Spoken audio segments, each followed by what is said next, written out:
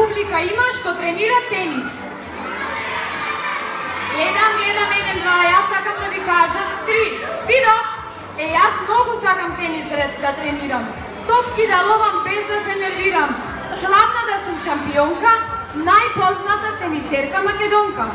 Но, Ана Ванчевска од градинка игра тенис.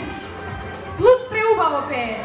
Јас по не немам шанса за трофеј, а ти Заги, ако имаш храброст, пробај.